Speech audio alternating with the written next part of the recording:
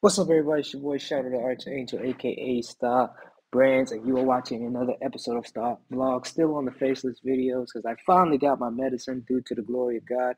So give me a week, two weeks. I'm gonna heal up, and then I'm gonna get back in front of the camera. Um, for those you don't know, I have eczema, so this is going to be about Sukihana. Um, and Sukihana is best described as a corn star, a um, musician, a comedian, a social media influencer, and she did a podcast with a uh, industry plant, aka Bobbi something. I don't know how to pronounce her last name, allegedly, because I don't want to get sued. And um, I just wanted to speak about. I think this is all a publicity stunt. I don't think the video was all the way 100% real.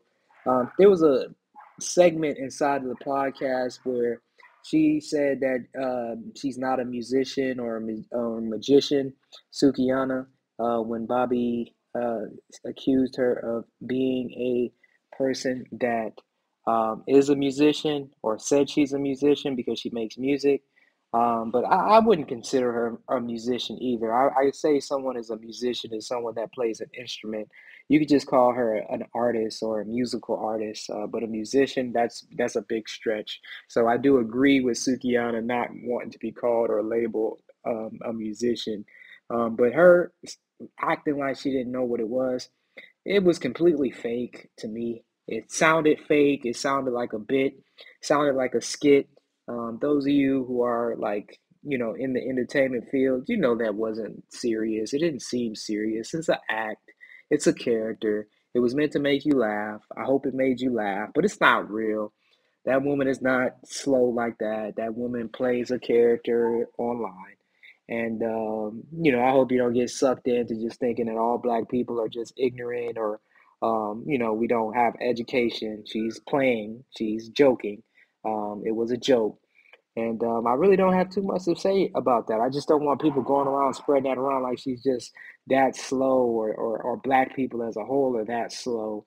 Um, it's it's a bit, man. It's a bit uh, for them to go viral, and obviously they went viral for a little bit.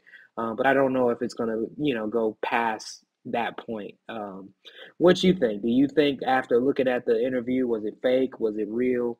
Um, do you think it was more than just a bit? Do you think that it's just a bad representation of us nonetheless, even if it is a joke? What's your opinion? Make sure that you drop those comments in the descriptions. Um, click those links in the descriptions for me. Help your boy out until we get monetized. And, and that's this video for today. Just giving my take. I really don't have any jokes about this because, you know, to me it was just an obvious bit, man. It was an obvious joke, dude. It's like that's that's what it was. But yeah, that's it. Now.